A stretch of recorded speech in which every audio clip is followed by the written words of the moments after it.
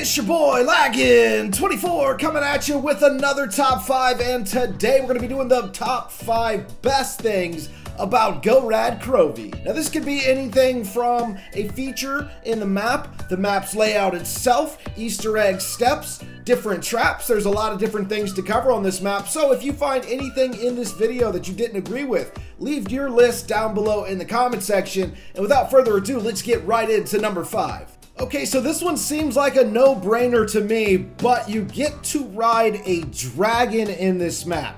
And it's as simple as that. There really doesn't need to be an explanation. You're on a dragon flying from one spot of the map to another. You're flying a dragon. I mean, come on, people. It's a dragon.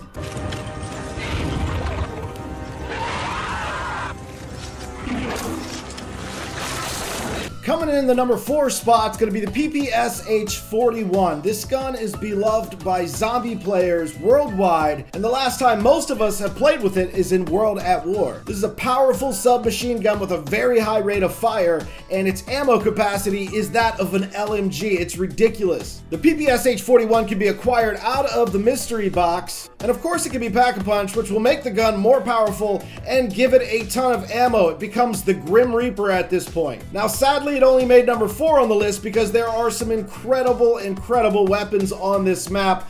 And I feel like this gun has been slightly altered from its World at War version just enough to where it's not going to make that number one or two spot like some of you may have thought.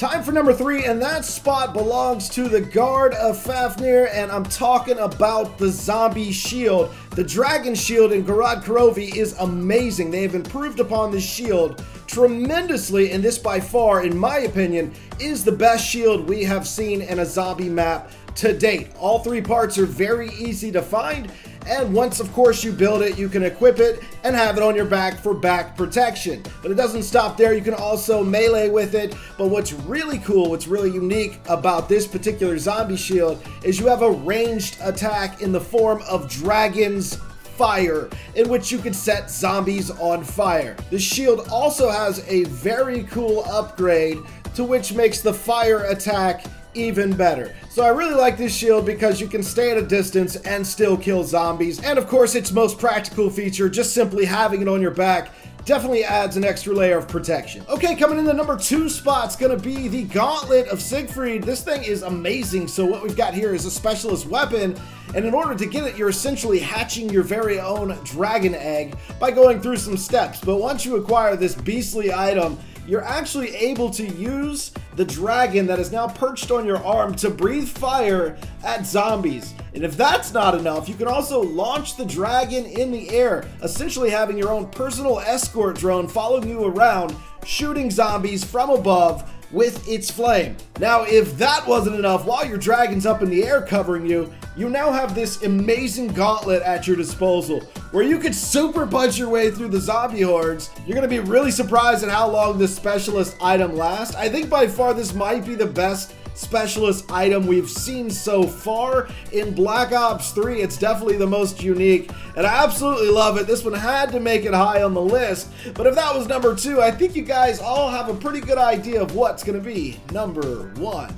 Okay guys, you guessed it, of course it's going to be the GKZ45 Mark III, so this is pretty unique for a wonder weapon. What we've got essentially is two separate wonder weapons that work together as a team. Now, what's also really cool about this wonder weapon is you can get it from the box. You don't have to go through a million steps to acquire this thing. So it's nice to just go up to the box and get the new ray gun. So on the left-hand side, you've got your GKZ45, which shoots like an energy blast that'll slow the zombies down. And in your right hand, you've got the new Mark III ray gun, which works a lot like I would say the Mark II because it actually penetrates. There's no splash damage.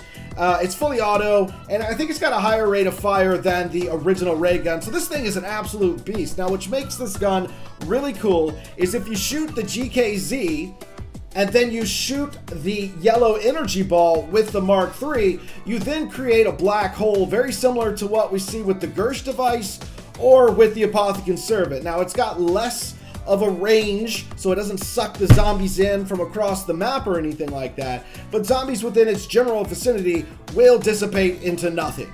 And of course, you can pack-a-punch this weapon, which will provide additional ammo and increase the duration, the range, and the damage of the black hole effect. This is a very, very cool wonder weapon, and that was number one on the list. I also want you guys to leave down in the comment section what you hated about this map, because I'm also going to be doing a top five worst Gorod Krovi episode very soon. And also, what is your favorite ray gun? The original, the Mark II, or now the Mark III that we see in Gorod Krovi? Guys, if you enjoyed the video, please do drop a like on it. And as always, it's been your boy Laggin24, and I will see you uh, next time.